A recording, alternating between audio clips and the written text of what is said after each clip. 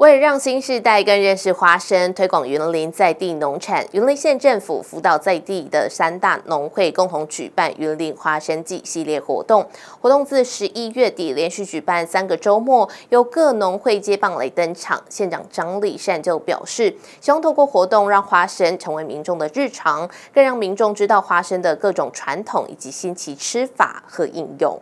绝配花生味。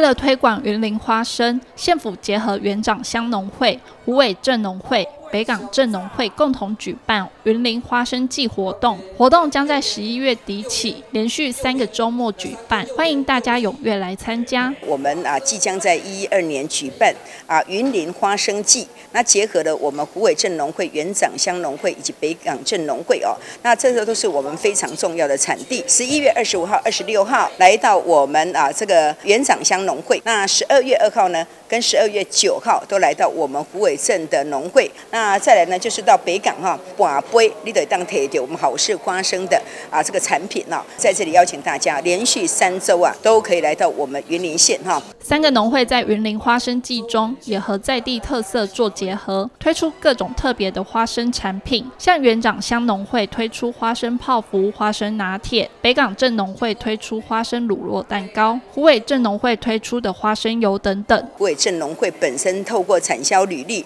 甚至透过 ISO 认证哈，我想非常难得的一个花生品牌。我们原厂农会哈也打出我们自己的品牌哈，不只是跟我们的啊拿铁咖啡、花生拿铁咖啡来结合，包括我们炸鸡淋上这个花生酱哈，那还有鸟语花香啊，我们红珍珠的这个啊花生，现在都是新的产品推出了哈，希望大家都能够热爱。那我们北港镇哈，在我们啊这个总干事的这个推动之下哈，他们也跟了这个乳酪蛋糕来结合了哈啊，我想这些的好的产品都可以介绍给大家。除了园长乡、虎尾镇、北港镇外，云林县还有一个花生产量很高的乡镇，那就是土库镇。这次因为土库镇农会还没有花生加工产品推出，因此无缘这次的活动。县府希望下一次土库镇农会能一起共享盛举。云林是地层下县区啊，那旱作是一个很重要的产物。花生也是我们云林县最大的产物，所以土库也是在我们地层下线重要区，所以我们也在推广这个旱作的作物。那土库的花生产量也蛮高的，